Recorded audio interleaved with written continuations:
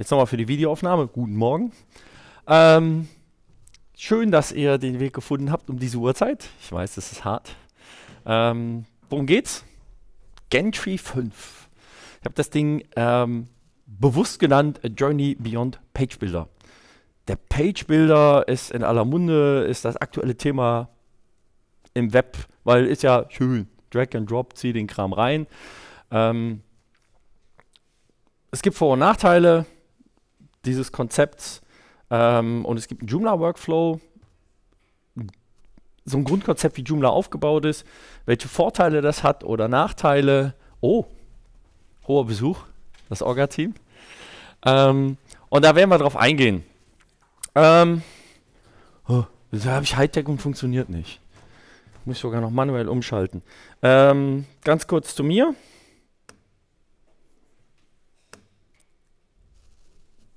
Das bin ich. Also, auch. Äh, warum das Bild da drin ist, gestern hatte ich einen Grund dafür, heute einfach nur, weil ich zu faul war, es auszutauschen.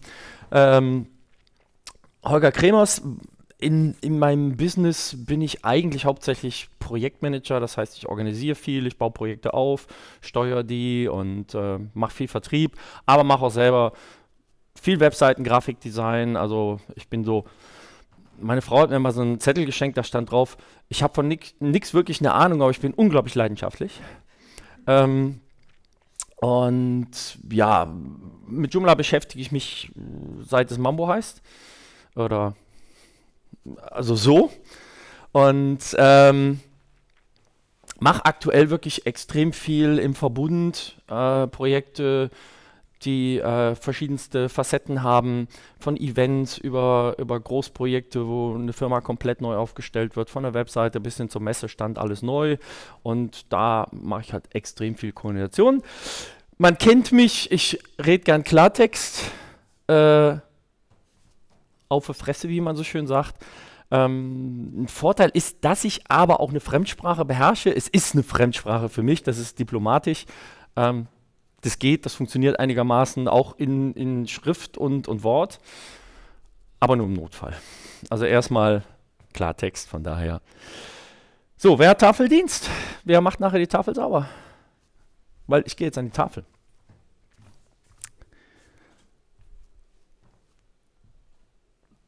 Page Building oder, oder Site Building ähm, Dazu muss man sich erstmal damit beschäftigen, was ist einer der größten Vorteile des Joomla-Systems im Gegensatz zu anderen Systemen. Was wir nachher haben in der Webseite ist das hier. Das soll rauskommen. Gucken wir uns mal ein System an, wie zum Beispiel WordPress. Was macht WordPress? WordPress macht alles hier drinne. Das heißt, egal was ich da mache, die schreiben das da rein. Und deshalb gab es im, im WordPress-Universum relativ früh Dinge wie Page-Builder, weil die müssen ja alles da reinkriegen. Und die müssen das ja irgendwie da auch gestalten. Und wenn du jetzt nicht gerade der, der Crack in CSS und HTML bist, ist es schwierig. Wie, wie geht es mit diesem Floating und, und wo soll das hin und wie, wieso ist ein Bild jetzt da? Was für eine Kacke? Ähm, und deshalb haben die angefangen, Systeme zu bauen, mit denen ich das zusammenstricken kann.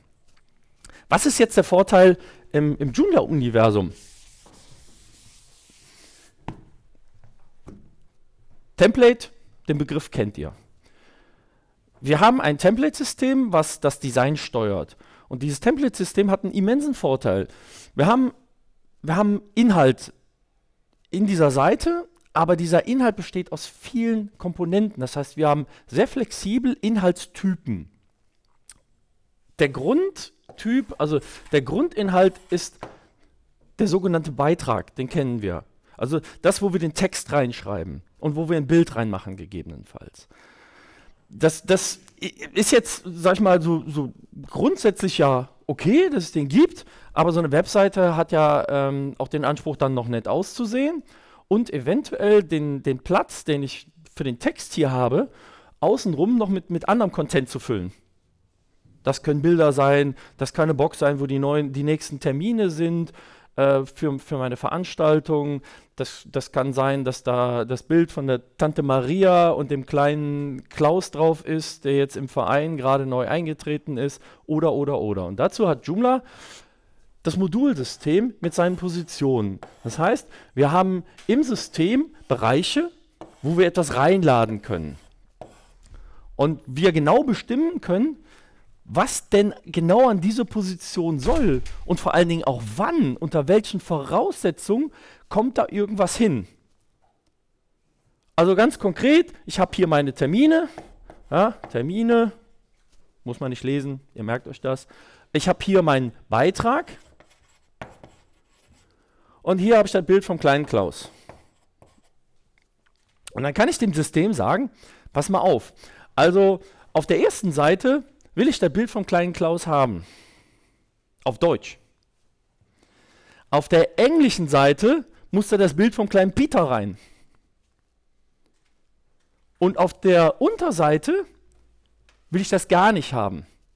Da muss das Bild von dem kleinen süßen Katzenbaby rein, weil das ist meine Landingpage und da ziehen Katzenbilder immer. Und dieses System hebt uns eigentlich von vielen anderen Systemen ab. Wir haben ein sehr flexibles Inhaltssystem. Wir können das genau bestimmen.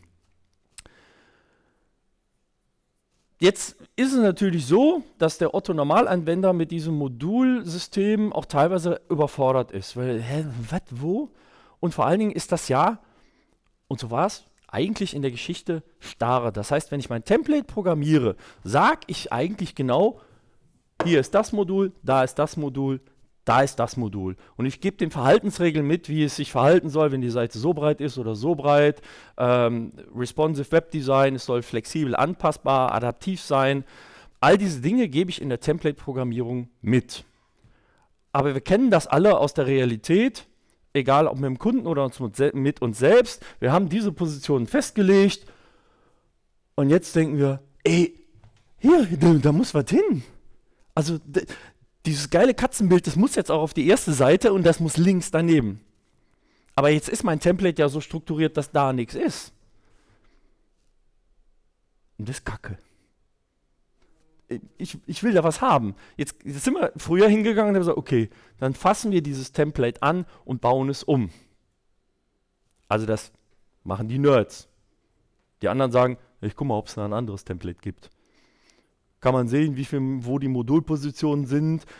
Ja, da ist eine Position, das nehme ich. Ah, hat eine scheiß Farbe. Und dann fängst du wieder an rumzustricken oder wenn du anfängst, dein Template umzubauen, dann musst du auf einmal wieder all diese responsive Funktionen anpassen. Wie verhält sich denn dieses blöde Ding, wenn es jetzt dann die Seite kleiner wird und auf mobil? Und das heißt, du hast extrem viel Arbeit, wo du dir denkst, eigentlich wäre das so einfach. Ich müsste das doch eigentlich nur per Drag and Drop da reinmachen. Und dann haben die Leute angefangen, Page-Builder zu erfinden, auch für Joomla. Und die haben unterschiedliche Konzepte. Aber der, der Standard-Page-Builder macht nichts anderes. Der sagt, weißt du was, das interessiert mich hier überhaupt nicht. Ich mache das Bild hier rein und mache meine Sachen da rein. Also hier ist mein Bild, da ist mein Text. Und das mache ich einfach, indem ich ein, ein, ein System von Vorlagen, von Funktionen programmiere, die lade ich einmal und, lad, und, und hole mir die dann per Shortcode und Plugin da rein. Das heißt, ich schreibe da irgendwas rein und löse das im Nachhinein auf, wenn die Seite geladen wird und weiß, wenn da steht, lade Katzenbild, eckige Klammer vorne hinten, dann lädt der Katzenbild. Ihr erkennt ein Problem. Wir sind eigentlich da wieder an dem Punkt angekommen, wo wir uns mit dem Joomla Konzept von fortbewegt haben. Das heißt, wir laden wieder alles hier rein. Und es gibt ja Gründe dafür, warum das so gemacht worden ist. Einer der wichtigsten Gründe ist, Content zu steuern. Wir haben ein Content-Management-System. Und wenn ich das hier reinlade, habe ich kaum noch eine Chance, das vernünftig, strukturiert zu steuern. Da muss ich schon richtig tricksen. Wenn, wenn ihr euch teilweise Page-Bilder anguckt wie, wie Quicks, die, die sicher super sind und äh, sehr schnell sehr gute Ergebnisse produzieren. Und dann denkst du, so, und jetzt mache ich einen Kategorieblock und stellst fest, äh, das geht gar nicht, weil die ihren Inhalt komplett in ihrem eigenen System verwalten und da ist gar kein Kategorieblock vorgesehen. Und die sind von diesem Joomla-Workflow komplett weggegangen, weil die ihre Inhalte in ihrem eigenen System verwalten. Und wenn ich hier drinne etwas reinschreibe, ähm, was ich einfach über, über HTML-Code auflöse oder über, über, über einen Shortcode auflöse und daraus HTML-Code mache, wie greife ich dann auf die Joomla-Benutzersteuerung zu? Wie sage ich denn der Inhalt, den ich hier sehr klar bestimmen kann über die Benutzersteuerung, wer dieses Ding sehen kann oder nicht, wie steuere ich das da? Es funktioniert nicht wirklich flüssig. Ähm, ob das in jedem Anwendungszweck notwendig ist, das, das muss es jeder für sich entscheiden. Es gibt sicherlich viele tausende Anwendungszwecke, wo egal ist. Erst, erstmal egal. Und das kann vielleicht entscheidend sein. Ihr programmiert heute eine Webseite, die ja morgen wachsen soll. Und heute ist das noch kein Anwendungszweck, aber morgen ist es einer. Und dann habe ich alles da drin stehen. Das heißt, für mich muss das Ding wieder komplett umbauen, weil ich es nicht steuern kann. Und ähm, mit dieser Problematik habe ich mich auch beschäftigt, weil wir Seiten hatten, die, die sehr schnell immer wieder in, in, in ihrer Grundstruktur verändert werden mussten. Da mussten Möglichkeiten von Inhalten rechts, links, oben, drüber und hier noch was dazwischen. Und teilweise der Kunde hatte eine Idee und bevor wir mit Umprogrammieren des Templates fertig waren, hatte ich der schon wieder die nächste Idee. Und dann habe ich irgendwie gesagt, das ist zwar alles, äh, wir versuchen da möglichst effektiv performant zu arbeiten und möglichst schnell zu laden und, und ohne großen Wasserkopf, dass wir irgendwas da reinladen, aber wir kommen so einfach nicht weiter. Dazu war das, was die da gemacht haben, viel zu schnell. Es ging um Events, das sich immer wieder verändert hat. Es kamen immer wieder neue Ideen. Da habe ich gesagt, gibt es denn ein System, was mir die Möglichkeit gibt, nicht das zu machen, hier den Kram reinzuschreiben, sondern das hier flexibel anzupassen, sodass ich einfach sagen kann, hier kommt jetzt eine Position rein, wo ich mein Katzenbild laden kann. Da gab es schon sehr früh Systeme wie Artista. Ähm, das war so der erste Template-Bilder. Da konntest du dir zusammenklicken, die hatten Vorlagen, da konntest du dir zusammenklicken, wie das denn aussehen sollte. Nett. Also wenn ich, wenn ich das Ergebnis davon sage, dass in der Community, sobald das Wort Artista auftauchte, jeder gesagt hat, weißt du was, da gibt es von uns keinen Support, weil der Müll, der da hinten an Code rauskommt, der ist, der ist so schwierig zu handhaben. Die machen Sachen, die sind so sch äh, schlecht. Ähm, das dazu führt, dass andere Dinge, äh, Erweiterungen, Komponenten, Plugins nicht wirklich funktionieren, weil die das mit ihren Kla eigenen Klassen überschreiben. Das funktioniert so nicht. Ähm, das hat viele natürlich geärgert, weil es war für viele eine schöne Möglichkeit, ohne Programmierkenntnisse relativ schnell flexibel Templates anzupassen. Und dann habe ich halt geguckt und gesagt, was gibt es denn anderes? Und dann kam eine Firma, ähm, die eine der ältesten Template-Firmen im Joomla-Universum ist. Die haben als eine der ersten angefangen, Joomla-Templates zu programmieren und zu verkaufen. Das war Rocket Theme.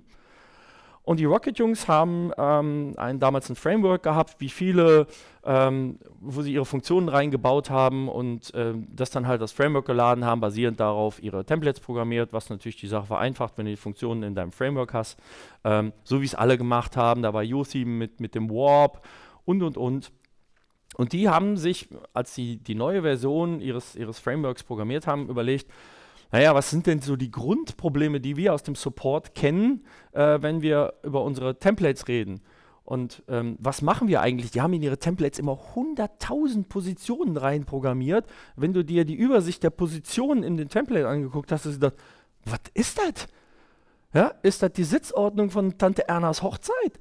Das, weil das, da waren hunderte Positionen drin, die dann immer wieder flexibel wegfallen. Das heißt, wenn du, du hast dann vier Top-Positionen, wenn du nur eine drin hast, war die volle Breite. Wenn du zwei drin hast, hat die Hälfte oder dann hast du halt eine Klasse mitgegeben, dann war die zwei Drittel.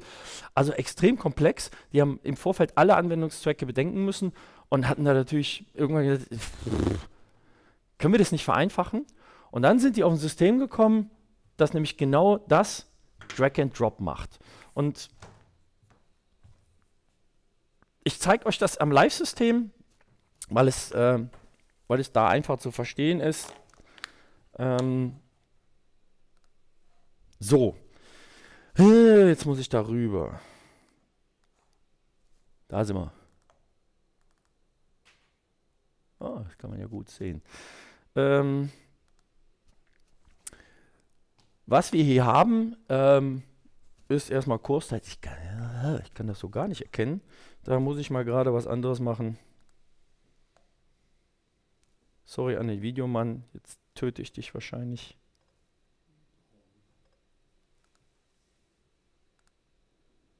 Ich muss das hier auch sehen. So, das ist besser. Ähm, das Gantry-System, man äh, könnt ihr das einigermaßen erkennen, was ich hier so mache? Ja, ne? Das Gantry-System in seiner Grundfunktion ist natürlich erstmal ein Template. Die verkaufen auch fertige Templates. Ich habe jetzt einfach mal so ein fertiges Template genommen, wo die dann auch tausend Sachen äh, fertig machen mit allen Farben und allen Varianten. Im Grunde genommen ist es natürlich erstmal ein Template. Dieses Template ist aber sehr flexibel, nämlich ähm, in, seinen, in seinen Styles und, und dem, was die machen.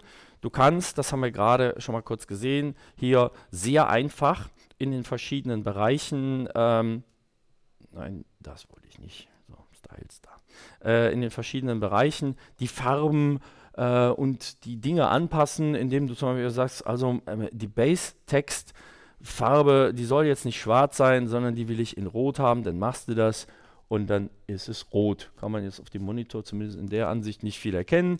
Und du sagst, naja, also im, im, im Sublevel will ich den Text eigentlich äh, eher grün haben beim Menü, dann kannst du das ja anpassen. Das ist schon sehr flexibel, aber das ist jetzt erstmal nichts anderes als irgendwie die Farben und den ganzen Kram anpassen. Das läuft alles über, über SCSS und äh, wird dann kompiliert und äh, liegt dann dahinter. Dann haben die Sections in diesem, in diesem Ding, das heißt einzelne Bereiche, die du auch stylen kannst. Das ist jetzt erstmal nichts Außergewöhnliches. Das eigentliche Geheimnis ist das hier. Ich habe Layouts. Diese Layouts, ich lege in, in, der, in der grundsätzlichen Template-Programmierung fest, was brauche ich denn für Bereiche? Was, was sind mir denn für Bereiche wichtig? Diese Bereiche kann ich bereits bei der Template-Programmierung mit gewissen Funktionen belegen, wenn ich will. Und dann programmiere ich die durch, gebe den Namen. Und innerhalb dieser Bereiche kann ich mich extrem frei bewegen in der Konfiguration. Das heißt, ich gehe hin und sage, okay, oben auf Top habe ich jetzt die System Messages. Das heißt, jede Systemnachricht, die kommt, taucht dort in diesem Top-Bereich auf und folgt der Formatierung des Top-Bereichs. Jetzt will ich da oben aber noch eine Modulposition drüber haben. Ich möchte da irgendwas reinmachen. Dann sehe ich auf der linken Seite, habe ich, ähm, da steht Positions und darunter Particles. Zu den Particles kommen wir gleich. Ich sage jetzt, okay, ich möchte diese Modulposition daneben haben. Dann schiebe ich die da rein. Und habe da eine Modulposition, der kann ich jetzt einen Namen geben und sage, ähm, also dass das jetzt so langsam ist, das liegt mehr an dem XAMP als am System. Das geht auf dem Live-System deutlich schneller. Ähm, ich sage jetzt, dass die Position Bild oben und füge das ein. Dann habe ich da oben eine Position in meinem Template, die heißt Bild oben und kann dort jeden Content reinladen aus dem normalen Standard Joomla-Umfeld, der auf eine Modulposition geladen werden kann. Und das extrem flexibel. Jetzt stelle ich fest, verdammte Hacke, das macht ja keinen Sinn, die System-Message rechts oben einzublenden, daneben das Bild, das ist Unfug, das muss zweireihig sein, also mache ich da eine Seite, eine Reihe drunter und ziehe das so und habe das dann entsprechend hier. Und das kann ich in allen Bereichen machen. Das heißt, ich kann mir meine Template-Struktur komplett frei zusammenbauen, on the fly. Ja, werde ich jetzt sagen, das ist schön, aber ich brauche auf der Seite die Struktur, auf der Seite die Struktur, auf der Seite die Struktur. Im normalen Template-Umfeld würdet ihr sagen, ja, ich mache mir dann ein zweites Template und lad oder einen zweiten Template-Style und lade diesen Template-Style. Dann haben die Jungs gesagt, ja, macht Sinn. Bilden wir ab. Wenn ihr mal links oben schaut, hier, da oben, ähm, da habe ich verschiedene Sachen. Und was ihr hier seht, sind Template-Styles. Die im System selber heißen die Outlines. Ja, ich will die Änderung nicht speichern. Heißen die Outlines und zwischen diesen Outlines kann ich hin und her schalten und kann die alle einzeln konfigurieren. Ich kann sagen, okay, auf der Seite brauche ich rechts was, auf der Seite brauche ich links was, äh, hier brauche ich die Position über und unter dem Content. Ähm, das Geile ist sogar, ich kann Content auf einer Seite zweimal laden. Ich kann meinen Inhaltstext zweimal laden, wenn es irgendeine Funktion gibt. Ich habe mal eine Seite gehabt, da wollte ich den, äh, den Content irgendwo anders laden, wenn ich es mobil darstelle. Und habe die eine Content-Position über Bootstrap einfach ausgeblendet im Mobilen. Und du bist extrem flexibel mit diesem System, weil du alles an jede Stelle laden kannst. Und um das einfacher zu machen, kannst du zwischen diesen einzelnen äh, Template Styles, die die Outlines nennen, sogar Vererbungen programmieren. Das heißt, du sagst, eine Sektion ähm, in einem Style ist die Vorgabe und ich kann hier eine Vererbung erzeugen und sage, das wird genauso dargestellt wie in dem Style. In dem Moment, wo ich es vererbe. Und wenn ich in dem einen Teil was ändere, wird es auf allen anderen Styles sofort geändert. Das macht Sinn zum Beispiel beim Menü. Das Menü sollte ja im Normalfall auf allen Seiten gleich sein und die, die Menüstruktur, also ich habe ein Logo oben links, dann habe ich das Menü und rechts daneben habe ich, hab ich meine Social Icons und das sollte möglichst auf jeder Seite gleich sein. Dann definiere ich das einmal und mache eine Vererbung auf alle meine weiteren Styles. Soweit verständlich? Das heißt also, ich kann die ganze Seite in ihrer Gesamtstruktur komplett flexibel zusammenbauen. Und der Vorteil bei dem, was die sich ausgedacht haben, ist, die laden das nicht on the fly oder, oder aktiv beim, beim System laden, sondern die gehen hin und arbeiten im Hintergrund mit YAML und Twig. Ähm, ist das ein Begriff? Vielen ja. Ähm, das kann man äh, ja mit, mit wie, wie, nennen sich die Sprachen? Ähm, ja, es ist im Grunde eine Art von, von einfachem HTML und das Ganze wird nachher kompiliert und erzeugt Strukturen, wie sie im Joomla-System auch vorliegen. Das heißt, die gehen hin und aus dem, was du hier generierst, kompilieren die ein Template, das dem Standard Joomla Workflow entspricht. Das ist ein Joomla-Template, das ist ein Joomla-Style. Und wenn wir, uns, ähm, wenn wir uns mal den normalen Style-Manager angucken, bei den Templates,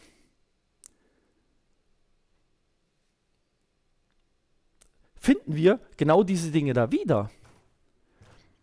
Das heißt, einer der großen Vorteile dieses Systems ist, die halten sich fast vollständig an den Joomla-Workflow. Das heißt, alles, was passiert, passiert im normalen Joomla-Workflow. Der Content bleibt Content, dein Inhalt bleibt Inhalt, so wie er ist.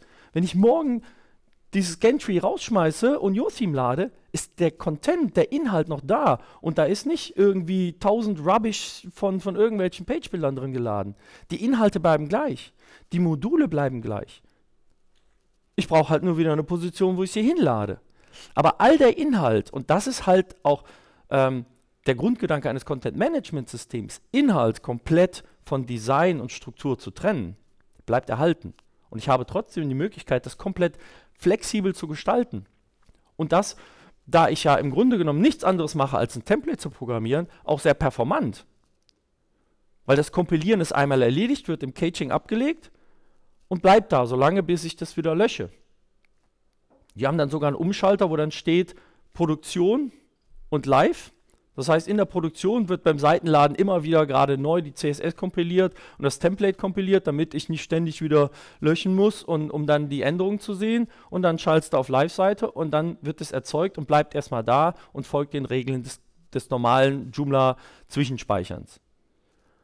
Und das macht eine Performance aus. Also damit Seiten zu bauen, äh, die im, im äh, Google PageSpeed 99 in, in, im Mobilen haben, ist gar kein Problem, wenn man sich an die Geflogenheiten hält und die, die Vorteile und die Möglichkeiten des Cachings nutzt. Das ist eine der ganz großen Stärken des, äh, des Gantry-Systems. Und deshalb nutze ich das so gerne, weil ich bleibe im Joomla-Workflow. Ich kann mich morgen für was anderes entscheiden, morgen ein anderes Template nehmen und das neu aufbauen. Ähm, dann haben die aber noch andere Sachen. Eine der, der Geschichten, die die meisten Leute ja so ein bisschen, ja, aber der Page hat den Vorteil, ich kann ja hier meine, meine Gallery reinziehen und hier meinen Slider. Und da sind die Jungs hingegangen und haben gesagt, okay, machen wir auch. Prinzipiell kannst du ja jeden Slider, der im, äh, der im Jet ist, also in Extension Directory von Joomla, kannst du ja jeden Slider überall hinladen, wo du willst, weil du kannst dein Template ja komplett strukturieren. Das heißt, wenn du sagst, oh, das ist ein cooles Slider-Modul oder hier ist ein Modul für einen Kalender, du kannst es nutzen. Die haben gesagt, okay, da es dieses System auch für andere Systeme gibt, das heißt, dieses Gentry-System gibt es unter anderem auch für WordPress, ähm, müssen wir etwas haben. Die haben früher auch sehr viel eigene Extensions programmiert und sind hingegangen und haben gesagt, okay, und wir bauen Slider und das und hier und das. Dann haben wir gesagt, wir müssen jetzt ein System bauen, um es uns einfacher zu machen, was auf allen Systemen gleich funktioniert, was im Grunde genommen das dahinterliegende Framework nutzt und damit Funktionen generiert. Und das ist deren Particle-System. Funktioniert im Grunde genommen wie ein Modul, basiert aber in dem Fall wieder auf YAML und Twig und ist somit plattformübergreifend möglich. Du kannst diese, diese Particles, die, die dann halt auch ähm, diverse Funktionen haben, wenn wir ins Layout gehen, kann man das mal ähm, demonstrieren. Wenn ihr auf die linke Seite guckt, gibt es hier so eine, so eine Riege von, ähm, von Particles, die könnt ihr verstehen wie Module mit Funktionen. Da ist dann zum Beispiel ein, ein Featured Videosystem, das kann ich hier jetzt mal reinziehen und ähm, da kann ich dann äh, Videos präsentieren. Und da haben die hinten Funktionalität drin, wie man Videos lädt, in einer Art Galeriefunktion. Ähm, da kann ich diverse Sachen machen. Das heißt, die haben diverse Dinge, Funktionalitäten vorbereitet, die ich dann per Drag und Drop entweder direkt in mein Template ziehen kann. Das heißt, da brauche ich gar keine Modulposition. Das ist dann wieder vom Joomla Workflow weg. Das kannst du machen, wenn du sehr schnell Dinge machen willst und sehr schnelle Seite erstellen willst, die bestimmte Inhalte hast, dann kannst du das flup, flup, flup da reinziehen und dann hast du deine Sachen fertig. Du kannst aber auch hingehen und diese Particles ganz normal als Modul nutzen. Dann hast du in der Modulverwaltung einfach dann ein Modul, was, was erstmal äh, von, von seiner ganzen Steuerbarkeit auch basierend auf Sprache, auf Benutzergruppen etc. sich an den Joomla Workflow hält ähm, aber intern halt solch ein, ein Particle hat mit seinen Funktionen. Ich rufe das gerade mal auf hier. Das sind also jetzt, wie, wie ihr seht, äh, Standard-Joomla-Geschichten. Da editierst du den Inhalt dann extern hier und kannst diese Sachen machen, hat aber den, äh, den, den charmanten Vorteil, dass du wirklich das Ganze basierend auf der Joomla-Modulverwaltung dann benutzen kannst. Du kannst deine Seite, wenn du möchtest, komplett im Joomla-Workflow auf, ausarbeiten, kannst deine Strukturen komplett frei bestimmen, erhältst eine gewisse Performance, weil wir uns wirklich an die, äh, weil Gentry sich wirklich an diese, diese Joomla-Geflogenheiten hält und das auch straight durchzieht, kannst aber trotzdem sehr frei agieren und hast dieselben Vorteile. Und vor allen Dingen, du kannst nicht nur so arbeiten wie mit Joomla-Modulen, sondern du kannst bei freier Strukturierung der Gesamtseite komplett mit Joomla-Modulen arbeiten, mit allem, was du im Joomla-Umfeld hast und du bist nicht mit dem System verheiratet, weil wenn du morgen ein anderes Template installierst mit Modulpositionen, schiebst du diese Module einfach schnell an die entsprechende Position, wie du sie hinhaben willst und bist safe und hast wieder eine laufende Seite. Das sind die Stärken dieses Systems. Es ist extrem flexibel, performant und äh, hält sich an den Joomla Workflow und an den Workflow an des CMS und äh, nutzt damit auch die Stärken des Systems Joomla. Weil viele der Dinge, die wir haben im Template-System mit Multi-Template-Systemen und so, ist einfach extrem stark und, und, und mächtig im Gegensatz zu vielen anderen Systemen. Versucht man in WordPress Multi-Template-System zu machen. Das funktioniert nicht. Und deshalb finde ich deshalb ist das für mich eine Entscheidung, äh, flexibel zu arbeiten und trotzdem äh, da zu bleiben und für die Zukunft auch gewappnet zu bleiben. Weil wenn die morgen sagen, ey, wir sind so reich geworden mit der Scheiße, wir machen einfach nicht mehr weiter, dann kann ich auch mit Joomla 4 weiterarbeiten, weil mein ganzer Content, alles was ich habe, ist noch da und ich kann ihn genauso flexibel weiter nutzen wie mit jedem anderen selbst, selbstgeschriebenen Template und kann so weiterarbeiten. Wir können zwei Sachen machen. Ich kann euch noch ein paar, paar wirklich witzige Sachen zeigen mit Gentry. Oder ihr habt Fragen erstmal. Eine Frage kurz. Mhm. Modul Gentry Particle, wenn ich das anlege und ich deinstalliere Gentry und ein anderes äh, Template, ist das aber auch weg. Ne? Ja, Weil die Funktionalität dieses Particles hast du aus dem Framework, ganz klar. Das ist ungefähr so, als wenn du ein Modul deinstallieren würdest, also, also praktisch ein, ein Content-Modul, die Funktionalität nach dem Deinstallieren ist weg. Klar, natürlich. Die Frage war, wenn ich hier so ein, ein Modul anlege mit einem Gentry 5 Particle, ähm, ist dann nach dem Deinstallieren von Gentry der Inhalt, also die Funktionalität weg? Ja, ganz klar, weil sie wird mitgeliefert in dem Fall. Der Vorteil ähm, ist hier genau wie beim normalen Modul, wenn ich, wenn ich in einem Page Builder etwas, etwas lade, der Page Builder weiß ja gar nicht, welch, welche Dinge jetzt auf der Seite geladen werden. Weil das sagt ihm ja erst, der HTML-Code sagt ihm erst, was er da reinladen muss. Das heißt, der muss jede Funktionalität erstmal laden. Der muss ein komplettes äh, Budget an Funktionen laden, um dann während des Ladens zu sagen, okay, an der Stelle brauche ich jetzt gerade die. Hier habe ich aber eine dezidierte Funktion und er weiß genau, ich lade diese Funktion und der muss nur diese mitladen. Das heißt, der braucht auf der Seite auch nur das zu laden, was er wirklich braucht. Ähm, das ist halt einer der Vorteile auch, äh, dass ich in diesem Modulsystem bin.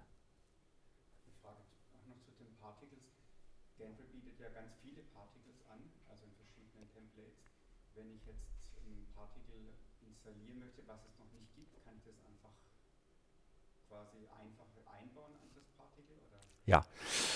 Ähm, diese Particles sind ja im Grunde genommen wie HTML geschrieben, ähnlich. Ähm, und äh, du kannst sie nicht per Drag and Drop und einfach sagen, ich nehme jetzt eine ZIP-Datei und installiere die. Das funktioniert nicht.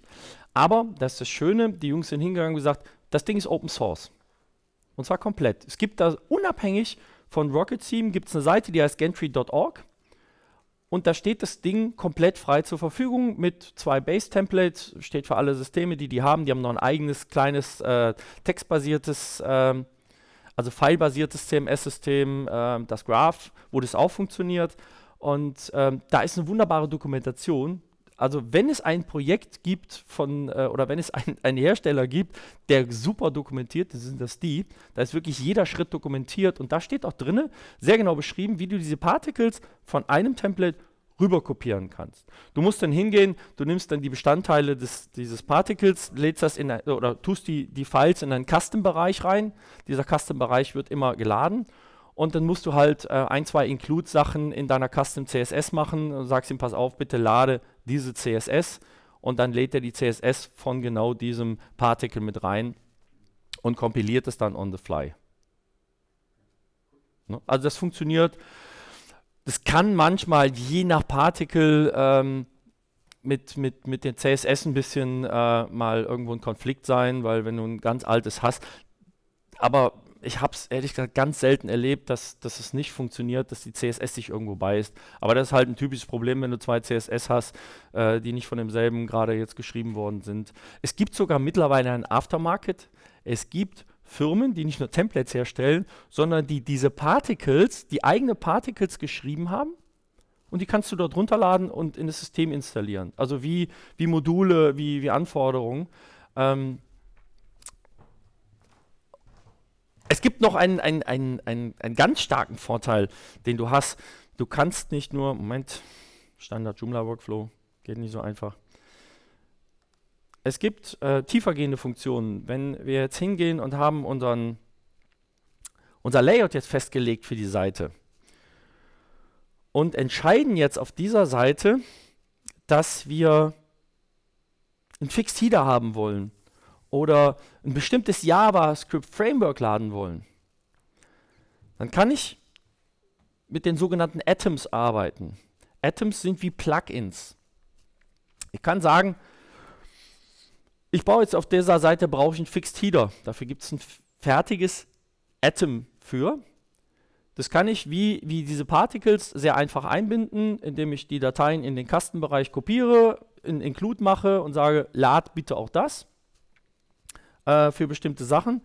Und dann kann ich diese Atoms in jedem meiner, bei Ihnen heißt es dann äh, Outlines, also sprich meinem Template-Style, einzeln laden. Das heißt, ich kann für jede Seite bestimmen und sage, also auf dieser Seite brauche ich jetzt irgendwie hier ähm,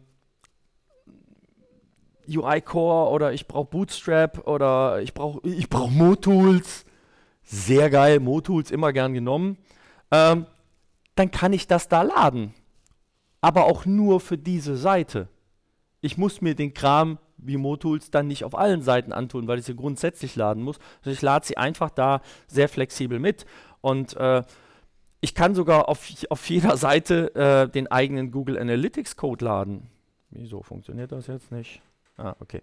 Äh, und kann auf jeder Seite einen anderen Google Analytics Code laden und hier den sehr einfach einbinden. Und das Schöne ist, es funktioniert wirklich on the fly und ich kann es einbinden und ich kann genau wie ich Particles einbinde, diese Atoms einbinden mit verschiedenen Funktionalitäten, die, die ähnlich äh, wie ein Plugin arbeiten, aber eben dann nur auf der Seite. Und das kann ich auch sehr flexibel einfach per Drag and Drop machen und ähm, mir diese Dinger in den Seiten reinziehen. Ich baue das einmal für eine Seite und dann stelle ich fest, oh, so ein Fixed Header wäre jetzt auf der Seite auch ganz geil. Da habe ich da mein Atom, ziehe das da rein, lade das mit und lade das. Oder ich brauche es nur auf der Frontseite, auf den Unterseiten brauche ich den Fixed Header nicht.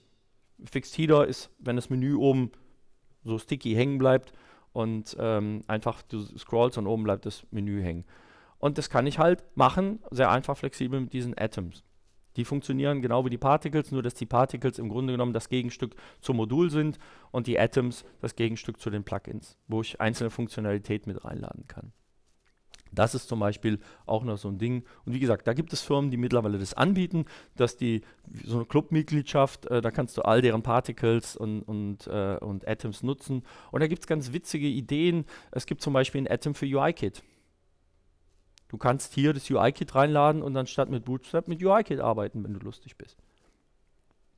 Das dann auch äh, noch so ein, so ein kleines Gimmick obendrauf. Und das auch, wie gesagt, ganz flexibel genau da, wo du es haben willst. Entweder auf allen Seiten oder nur auf der Seite. Und die Steuerungsmöglichkeiten ähm, bleiben halt gleich. Ähm, es gibt noch eine ganz witzige Geschichte. Ähm, ich habe ein bestehendes Template drin. Und ich würde gerne die Funktion dieses Templates, also die, die Positionen nachbauen. Und ähm, habe jetzt keine Lust, das alles komplett nachzugestalten. Also dieses Protostar, das hat so, äh, also ich habe das auf Protostar aufgebaut und ich würde es jetzt gerne erstmal übernehmen. Und dann lege ich ein neues Outline an. Wir haben gelernt, Outlines sind Template-Styles. Und dann sagt er, worauf basierend willst du das denn machen? Auf einem der, deiner bestehenden Outlines oder auf einem deiner bestehenden Templates? Und sage ich, ich hätte das gerne auf Protostar. Dann bestätige ich das. Und dann äh, gehe ich zurück ins Setup. Ja, gucken, wie er es genannt hat. Habe ich nämlich nicht drauf geachtet. Untitled, ja, sehr intelligent. Und was ihr da seht, ist die Template-Struktur von Protostar mit all seinen Modulpositionen. Finde ich, find ich total witziges Gimmick, weil du kannst sehr, sehr einfach, da hat jemand eine einfache Seite bisher auf, auf ähm, auf, auf einem Standard-Template, ist irgendein Template installiert und du willst es eigentlich erstmal übernehmen und dann mit eben in aller Ruhe das Ding weiter ausbauen, gehst hin, installierst das Gantry ähm, und kopierst diesen, einfach die komplette Template-Struktur und dann kannst du ja noch schnell die Farben anpassen. Über, wir haben ja eben den Style-Editor gesehen und kannst du das bestimmen, kannst die Fonts anpassen. Äh, das System kann natürlich auch so Sachen wie Google-Fonts laden. Das hat lokale Fonts, die auch sehr einfach eingebunden werden können in, in die Auswahlmenüs. Ähm, und äh, kannst aber natürlich auch Google-Fonts nutzen, die funktionieren äh, von Haus aus. Und dann kannst du die originale Seite ruckzuck in, in drei Sekunden nachbauen. Das ist zum Beispiel ein ganz witziges Gimmick, was mir auch irgendwann später ist aufgefallen ist, als ich mal nach unten gescrollt habe und gesagt, hä, wieso steht denn da Protostar? Wieso kannst du denn aus Protostar was wählen? Und es ist tatsächlich so, die kopieren einfach die bestehenden Modulpositionen. Das zum Beispiel ein ganz witziges Gimmick in dem System. Die Auswahl an Templates, an fertigen Templates ist riesig, wenn du sie kaufen willst. Die Jungs bieten Einzeltemplate an für ihre fertigen Sachen, aber, und das finde ich eben auch schön sexy, es ist anders als bei, äh, bei UTheme zum Beispiel. Das war bei UTheme schon früher so, wenn, wenn du das Warp aktualisieren wolltest, musstest du das Template runterladen. Hattest du keine aktive Clubmitgliedschaft, konntest du das nicht aktivieren. Dieses Gantry 5 als Framework ist komplett autark das wird über den Joomla Updater abgedatet und steht auch frei zur Verfügung auf gantry.org als Open Source. Du kannst es selber mit weiterentwickeln, wenn du willst. Oder du lädst einfach die aktuelle Version, installierst sie. Und äh, wenn da jetzt keine riesigen Breaking Changes drin waren, dann kannst du dein eigenes entwickeltes Template basierend auf Gentry auch weiter nutzen. Es gibt eine wunderbare Dokumentation, wie man eigene Templates schreiben kann. Die haben aber auch eben Base-Templates, die relativ rudimentär sind, was, was die Particles oder Atoms betrifft. Da sind die wichtigsten Funktionen wie, wie Bilder, Slider und so, die sind da schon drin. Ähm, und du kannst es natürlich farblich auch frei gestalten. Aber basierend darauf kannst du halt eben dein eigenes Template auch schreiben. Äh, YAML und Twix sind keine sehr komplexen Sachen, die versteht man relativ schnell. Es sind sehr einfach strukturierte Sprachen. Selbst ein Nicht-Programmierer guckt da rein und kann aus dem Ding rauslesen, ah, was machen die denn da? Und du kannst aus den Sektionen, die die machen, die kannst du rüber kopieren und hin und her. Und so ein, so ein Partikel umzubauen und ein neues Feld reinzubauen, ist auch für Nicht-Programmierer eine Sache von einer halben Stunde, weil er einfach sehr schnell versteht, wie die Struktur ist. Ah, da baue ich hier, das kopiere ich mir einfach, benenne das anders und in der Ausgabe mache ich dann auch nochmal das Feld rein und sag hier, lad dieses Feld und dann hast du im Backend dein Eingabefeld und gibst es im Frontend aus unter der, Format, unter der Formatierung, die, wie die anderen Felder sind und es ist halt ruckzuck gemacht. Da brauchst du kein PHP zu beherrschen. Äh, CSS hast du dann ja schon bestehend und äh, das funktioniert also auch relativ flexibel und schnell. Also das hat man eigentlich in zwei Stunden verstanden, wie so, wie so YAML funktioniert. Und äh, das ist sehr einfach. Ja, habt ihr noch Fragen? Ist das jetzt Entsetzen oder ist das Zufriedenheit?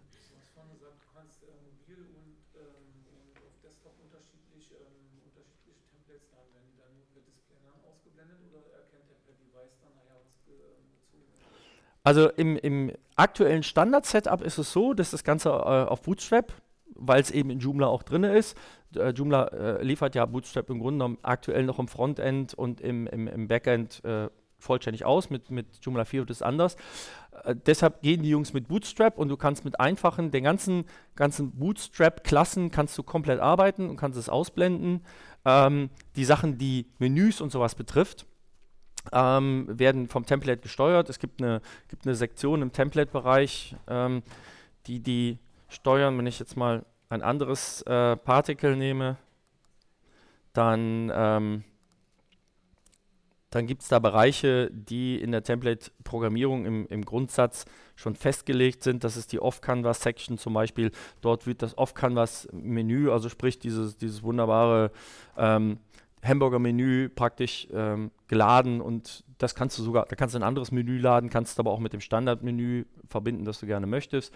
Ähm, aber ansonsten folgt das natürlich den Gegebenheiten, die du dem Template mitgibst. Das heißt, du nimmst entweder die Vorlagen aus dem Standard-Template ähm, und da ist eben Bootstrap drin, aber du kannst alles andere so machen und anpassen, wie du, wie du willst. Das Ding folgt ganz klar den Bootstrap-Vorgaben, was die, was die Umbrüche, was die ähm, die Vorgaben eben an responsive Verhalten ist. Du kannst dieses responsive Verhalten aber auch noch einstellen. Du kannst ihm äh, in den ähm, entsprechenden Vorgaben, ähm, ich muss es gerade wirklich nochmal nachgucken, ähm, das war unter, genau, du kannst hier noch die Breakpoints festlegen. Das heißt, wo bricht das System um, wenn du responsive arbeitest und kannst das hier ähm, für die einzelnen Klassen, die du aus Bootstrap kennst, auch festlegen kannst sagen, wo sind die Umbruchpunkte, ähm, ganz frei. Also wir haben hier, und das müssen wir festhalten, kein, kein komplettes Drag and Drop und äh, der Rest erledigtes Ding. Du kannst das komplett flexibel gestalten. Das heißt natürlich auch eine Verantwortung. Du musst es gestalten. Ne? Da sind Vorgaben drin, die funktionieren auch, aber äh, du kannst es ja flexibel anpassen. Du hast die Möglichkeiten. Du arbeitest wie mit einem normalen Template. Aber eben frei und flexibel on-the-fly Drag and Drop unter den Vorgaben von, in dem Fall Bootstrap. Wie es mit äh, Joomla 4 wird, kann ich euch noch nicht sagen, aber das ist aktuell Stand der Dinge, basierend auf Bootstrap und dem Verhalten von Bootstrap und äh, gibt dir den Grid vor und so, das war es jetzt, glaube ich. Zeit ist um, habe ich gehört. Schön, dass ihr da gewesen seid. Ich hoffe, ich habe euch was mitgeben können und äh, meine Begeisterung für das System habt ihr vielleicht ein bisschen gespürt. Ich mag es sehr gerne, ich arbeite sehr gerne damit. Es ist super flexibel, aber es tötet mir halt nicht das, was ich an Joomla liebe, nämlich den Workflow und die Möglichkeiten, auch in der Zukunft das beizubehalten. Danke euch.